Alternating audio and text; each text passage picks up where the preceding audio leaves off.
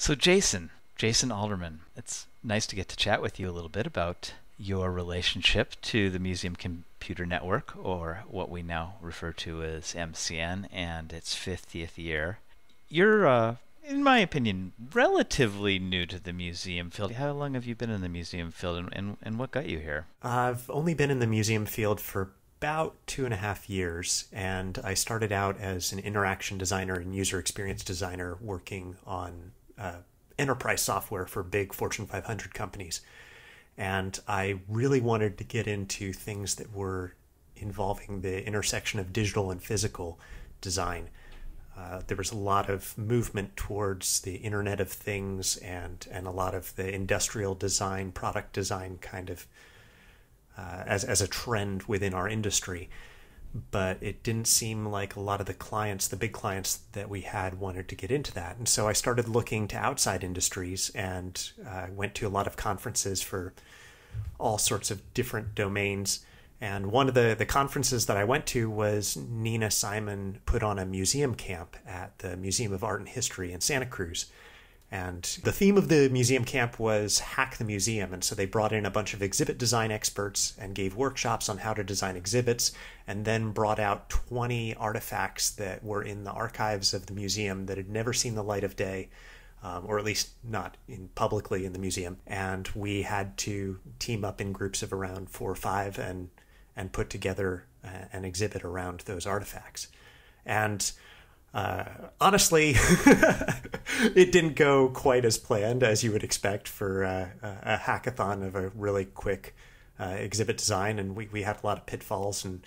Um, but it was a really fun experience overall, and I loved the the staff at the museum there, and so that kind of put the the wheels in motion. That I had saved up a bunch of money over the next few months and quit my job to try to break into museums. And then I was lucky enough to meet uh, Chad Weinard when he was coming to Balboa Park.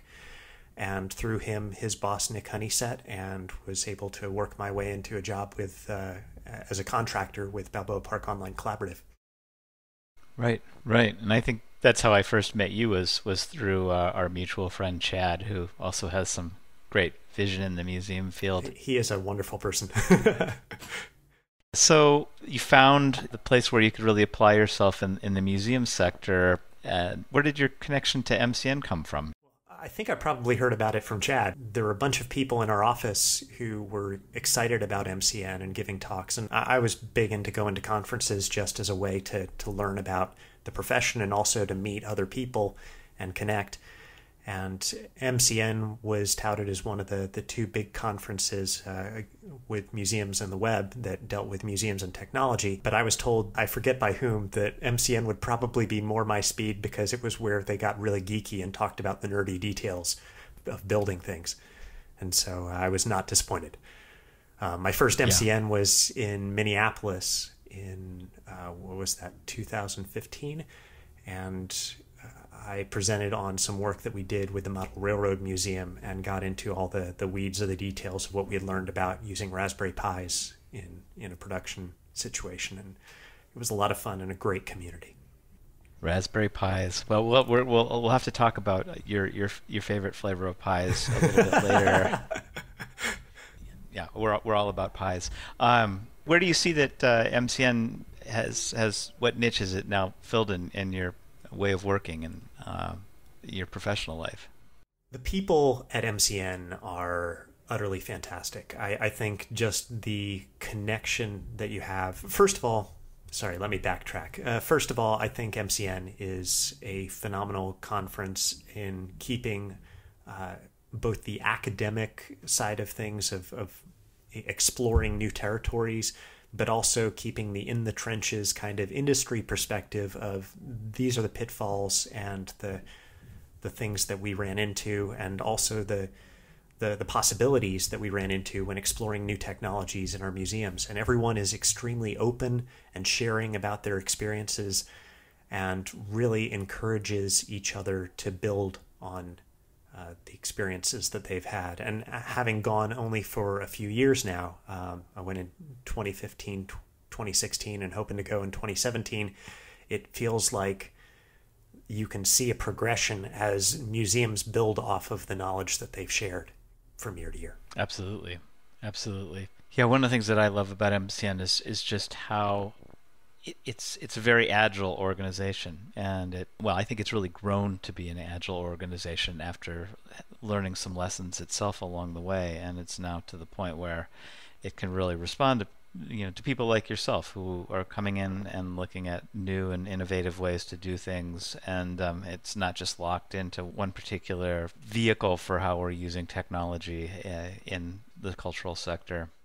So you work independently. I, I, mean, you haven't you haven't really formally worked for a museum up until now, and you're still you're fu- still functioning independently. How is it working that way? I think you know a lot of people that are involved in MCN have an institutional affiliation, and and uh, you've come in as an independent and, and remained that way. How's that how's that going for you?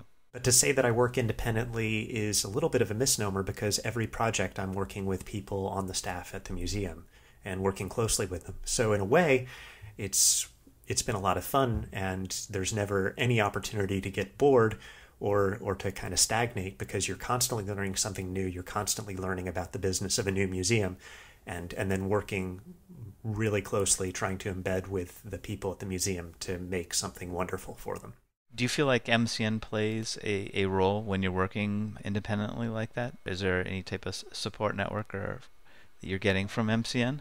MCN has definitely been helpful in that regard. I know in the early days it started out as a network of people who were talking about computer use in museums in New York in the 1960s, from what I understand. And then it kind of evolved into a mailing list and then it evolved into a conference. But the conference has kind of evolved back into that thing that it started as, where it's people helping people and asking for advice and and I find that aspect of it really really useful. Uh, I know that we have a Slack that's not really so well used, but uh, I will still email and ping uh, colleagues and friends that I've met at the conference to get their help. For one example, is that I was working on a, another project recently for the Museum of Art and History, um, the museum that actually kind of got me into this field. Uh, was working with a glass sculptor named Biagio Scarpello who uh, was building an interactive donation machine in their lobby, and I was helping with the electronics on that. And for that, I was using uh, an Arduino shield and satellite kit from Miriam Langer at, and her team at New Mexico Highlands University called Museduino. And this kit is phenomenal. But even before I started using the kit, I was pinging Miriam, who I met at MCN in 2015, for advice on how to do things. And just informally, um, getting a lot of, of, of wisdom and mentorship uh, from her and her team. So, in that respect, just having a network of people that you can use no matter what domain you're, you're going into, because if we're doing this right, technology is always changing and we constantly have to learn about what the newer technologies are. And so, having expertise and, and knowing who to go to, to to talk to about that has been extremely helpful. That's a great segue to like really my kind of next question for you is about what some of your favorite projects are that you've worked on, especially looking at your interest in these uh, open source hardware platforms and, and some of the more innovative stuff you've done. Do you, do you have a particular project you'd like to share? Ooh, tough question. Um, I, I think that recent project, which I think has pretty much um, been released. Uh, in in the lobby of the Museum of Art and History in Santa Cruz, there's uh, a new project called Take Sail, and it's a donation machine where uh, children or patrons can walk up and wave a dollar bill under the mouth of this this nozzle, and it turns on a dust collector, which is about four times more powerful than a shop vac, and it suctions up the dollar bill into a big glass dome where the dollar bills spin around. And as it passes into the dome, it triggers sensors that will light up and inflate with box fans these giant ship sails that are on the wall. And all the electronics are run by an Arduino, and we got to learn a lot about uh, how to control some big some big switches and relays to, to make all of that work. And so that was a tremendously fun and educational project I look forward to doing more electronics work on that. But I'd say my second or other favorite project, I don't want to pick favorites, is uh, one of my early projects that I worked on with uh, with Chad Weinard and uh, Brinker Ferguson at the Model Railroad Museum here in Balboa Park, and with the whole the staff and the team there, Anthony and Polly and folks. And what we did is we rigged up a bunch of iPads and had a quiz that you would take on the iPad about the history of the park and then it would light up and play sounds on a scale model of buildings in the park from 1915 when the park had its its grand opening as part of the Panama Pacific Expo. I can't remember. It's always there. Were, there were two expositions that year: the Panama California Expo and the Panama Pacific Exposition, and I get them confused. But anyway, we ran those iPads we connected them to Raspberry Pis that were running a Node.js server, and there were a lot of moving parts and things that were triggering this, and it was it was very complicated, but it was uh, we we learned a lot. It was great. What role do you play in these projects, Jason? Are you actually doing everything from the conceptualization to the coding to the, the physical installation, or how does your role usually play out? I I'm trying to think of a way to answer that that's not just yes. um, but uh, yes, I um, my background traditionally is in design, and I started out as an interaction designer, as I mentioned, um, user experience designer, where you're kind of sketching out and figuring out how something will behave, and working closely with the developers who are building it so that they know how that works. And while I was doing that, I was learning visual design, apprenticing under some other designers who are really, really good at that, and also development by working with some developers and kind of figuring things out as I go and learning best practices. And now working with museums, it's kind of it's both a um, a blessing and a curse because if if you're good at something, the reward for that is doing more of that thing. And so I'm just good enough at design and development that it's a little bit economical, I guess, to to have me do everything. Uh-huh. Uh-huh. um, I, I try to draw the line at, at project management, and it's usually good to have somebody else there who's telling you what the priorities are, because when you're switching so many hats, it's it can be a little bit of a challenge. so I'm I'm guessing that our listeners would probably like to get a glimpse of these projects, and uh, while they might be able to travel uh, to these locations, is there YouTube documentation or photo documentation online that we could I- embed a URL here someplace? Um, I will see if I can get that to you uh, after we talk, but uh, yes, there should be. And there's a full MCN presentation on everything that we learned about the Model Railroad project. The other project in the Museum of Art and History is, uh, I'm still putting together the documentation on that, but I'll, I'll send it to you. Cool, cool.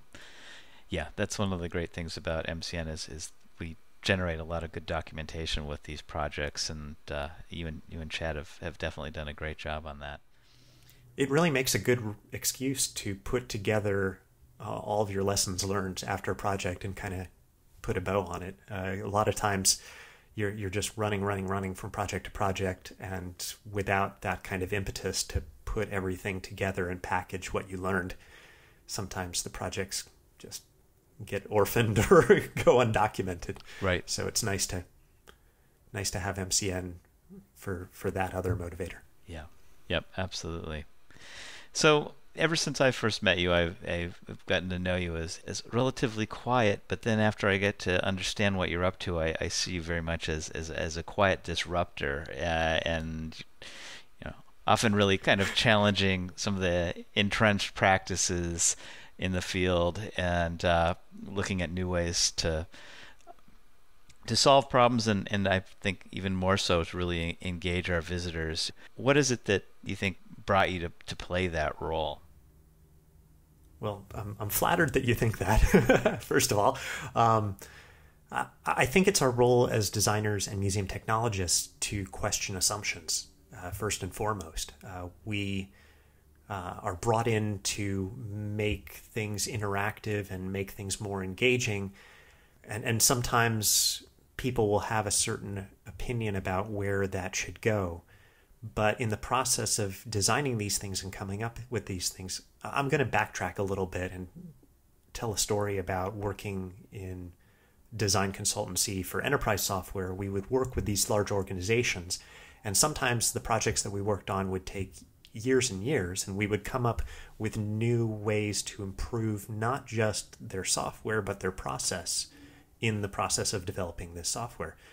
And somebody once told me, and I'm I can't remember who told me this, and I've been trying to, to find the source of it for a while, but they said that software design is organizational change. You're not just redesigning how the, the outward appearance of things, or you're not just redesigning a product, you're kind of helping a company or an organization learn how to do their own business better. I don't want to say that that means that the consultant or the designer or the museum technologist is by any means a, a guru who just magically can come in and make everything better. But a lot of times in the process of bringing in an outside consultant or a museum technologist, they're helping the organization itself question how it's done things and if the way that it's done things is the way that it should be done. Because there's always a lot of inertia to keep doing things the way it's been done because that's the way it has been done. So, in that respect, I think that that museum technologists are very helpful in this profession in in kind of forcing us to think is this the best way to do it and maybe we can do it a better way for cheaper in a way that's more engaging uh, and in a way that uses some newer technologies in in some a way that's fun mm-hmm. You also seem to really not just look at new technologies but look at stepping away from relying upon technologies that that have become ubiquitous in museums. For instance, I know from from, from I know where you're going from talking from talking to you in the past. I know that you know touch screens. Well, you still see a uh, a role for them. Uh, are a, a little bit of a sore spot for you, and that, that most museums just default to that being a portal for information, and and, and you look well beyond that. Do you have anything more to so, add to that? um, I, I, have plenty more to add, but I'll try to, to keep it short. Um, there's a, a, technologist in the Bay Area named Bret Victor. He used to work for Apple, and he had a, a blog post, you can look it up online, called A Brief Rant on Interaction Design. And he decried the fact that so many designers were building products that were essentially under touchscreens. They were manipulating pictures under glass. And he showed all these photographs of what human hands can do. And there, there's so many more uses and intuitive ways that we can manipulate things than than just touching a touchscreen and so this has been a little bit of a soapbox of mine is that a lot of times museums will buy fancy touchscreens or new technologies and then they'll go looking for ways to use them and I can completely understand the need for museums to recoup on their investments. But there's some things where you could do something for a whole lot cheaper, both in the development and the creation of, of the technology, but also create something that's a lot more engaging to your audiences and your visitors than than just having uh, a touchscreen. Right. But don't you think part of that is is just that a touchscreen for a museum technologist is a known quantity that they can basically take and talk about and sell it because it takes a form that people are already familiar with? And the type of work that you do is much more complicated and the form it's going to take you know the footprint in the museum the, the required infrastructure to support it the staff that is going to take to support it and the type of training can be more challenging when you're looking at something that's outside of the box and more ambitious like the types of projects you take on. I'm going to take a little bit of a devil's advocate there and uh, and and I'll caveat this by saying that I am not extremely confident about what I'm saying here, but I feel like in some respects museums have a great deal of experience in building interactives that don't have electronics in them, that don't necessarily have screens in them, that aren't pictures under glass. They, they have experience in making tangible things that people can manipulate that are very simple. And I feel like a lot of museums forget about that sometimes in trying to integrate technology into their exhibits. And so they leap to touchscreens because that seems to be something that is, it is, it has technology embedded in it, and it is technology, but there's a lot of institutional knowledge in building interactives that don't have electronics that could be augmented ever so slightly with electronics in ways that do not require a tremendous investment in maintenance and understanding how uh, how they work. Um, there, there are a lot of off-the-shelf open source hardware kits like Arduinos and Raspberry Pis that have tremendous amount of documentation. Some of them have modular pieces that you could plug in for the various things that you want to augment these interactives with. And and I feel in that respect that that touchscreens get a little bit too much attention and things that are more in the wheelhouse of museums already get a little bit of a short shrift. And so I don't want us to forget the history that museums have with building interactives that are extremely engaging and very tangible and multisensory and really appeal to a wide range of visitors and are very inclusive. And and I and I totally get that. And uh, at the same time, I, I want to challenge you there, but but Please do. in in, in, in well in in a, in a way to I think challenge the field, which is you know I'm coming at and and have been involved in most of the technology work that I've done over my career uh, from the art museum perspective, and I would say in general when it comes to exhibit design, we're very set in our ways. And putting a kiosk or a touchscreen on the wall, or even better, uh, having our visitor pull out their own mobile phone, is uh, is a much safer and uh, controlled practice versus when we start to talk about making the environment itself uh, a part of the interactivity and the exhibit. And so I love what you're saying, but at the same time, I no, think I, I, think when you cross that boundary from a, a, science museum or a technology museum to a history museum to even more regulated a, a traditional art museum, all of a sudden there's these there's barriers to adopting this kind of agile process that, that is a part of your practice. Uh, there's two things that you brought up there that I want to address. First of all, um, I agree with you, and and and I think that there are a lot of challenges that we have to to find here because if we want to get buy-in from the the people at the the top of the museum, we need to find ways to measure these and and to show that there is some kind of measurable benefit um, for doing things in the ways that I'm advocating. Uh, touchscreens, as you said, are are easier to sell because they've been used and there are ways to, to show the level of engagement with them. And a lot of the kind of bespoke opportunities that I think that there are, are, are kind of harder to sell because there's not as much of a, a literature and a history of, of how well these do.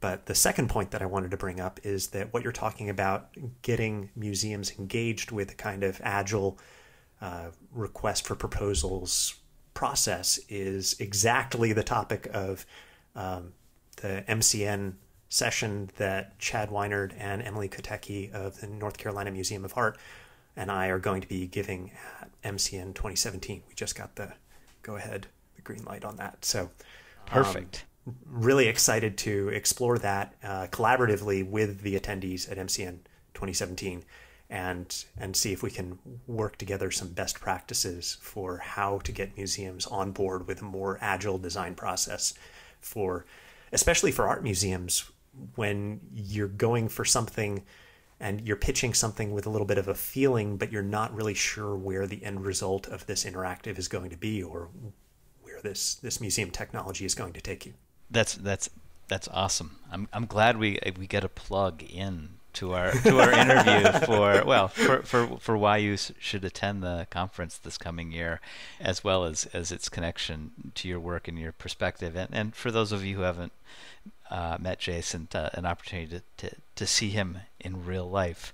Uh, so Jason, this has been a great conversation. I I don't want to conclude without having uh, collecting your thoughts a little bit about uh, MCN and now celebrating our 50th anniversary.